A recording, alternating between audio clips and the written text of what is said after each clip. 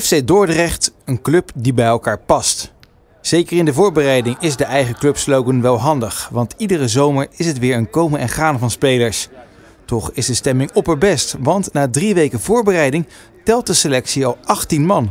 Als jij eh, bedoelt met vorig seizoen zeker, ja. ja toen hadden we maar 12. En uh, ja, nu hebben we al een aantal spelers uh, vast kunnen leggen voordat wij straks aan de competitie beginnen. Lekker toch? Ja, dat geeft wel een goed gevoel, ja, want dan weet je ook waar je aan kan werken. Dit is de lijst van vertrokken spelers, maar liefst 16 in totaal.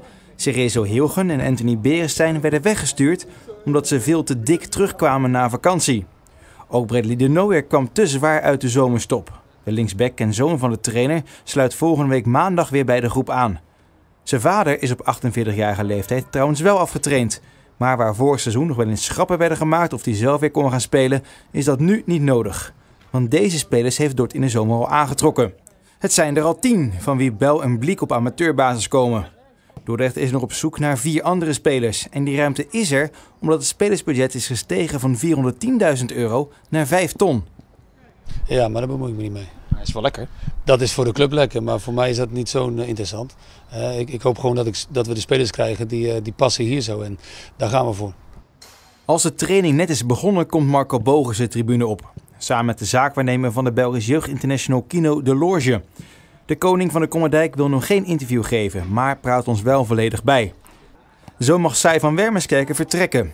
De Japans publiekslieveling stuurt al drie weken lang aan op een transfer en daarom is dus deze de Loge gehuurd van Racing Genk. Een dag later blijkt dat het de laatste training van Van Wermerskerken is. Hij wordt naar het tweede gezet. Verder moet het allemaal iets professioneler dit seizoen. Er is geïnvesteerd in een eigen krachthonk, in een diëtist en op het veld wordt er harder en langer getraind. We hebben spelers erbij gekregen die dat ook aan kunnen. En, dat, en als je het hebt over verschil van vorig jaar, dan is dat wel een verschil. Dat je nu kwalitatief misschien iets betere spelers hebt. Ja, maar ook, ook die meer kunnen geven. Waarmee er dus een streep wordt getrokken onder het voorseizoen. Het slechtste jaar uit de clubgeschiedenis, waarin FC Dordrecht 19e en dus één na laatste werd. Twee van die nieuwe spelers die meer kunnen geven vallen direct op, al is het alleen maar door hun prachtige Braziliaanse namen. My name is Mateus, but uh, I don't know speak English. Gelukkig heeft Matthäus in zijn maatje Cicero een tolk. Hij spreekt namelijk wel een beetje Engels. Uh, my name is Cicero. Uh, I'm Brazilian, 24 years. My English, sorry, is not good. Uh, I'm playing midfield. And I come to Dordrecht. Dit seizoen zien we dus twee Brazilianen in Dordrecht. De een heeft een Portugees paspoort, de ander een Italiaans. Maar hoe komen nou twee Brazilianen in Dordrecht terecht? Het antwoord draagt een blauwe polo. Dit is namelijk Jeltsin Zeuren, een Rotterdamse spelersmakelaar die onder andere ook Filena en Basikogu begeleidt.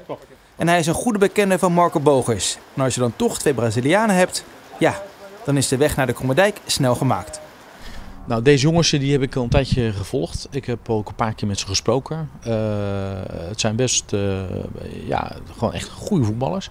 Ze hebben, uh, om maar een voorbeeld te geven, Matthäus heeft bijvoorbeeld bij een Goiás gespeeld en Botafogo gespeeld.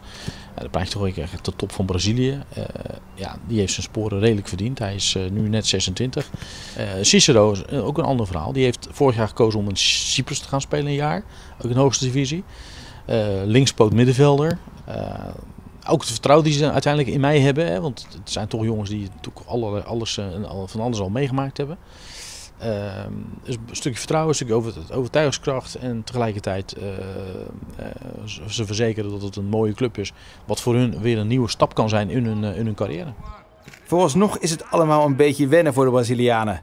Kunstgas aan de Kommerdijk en de echte Nederlandse zomer.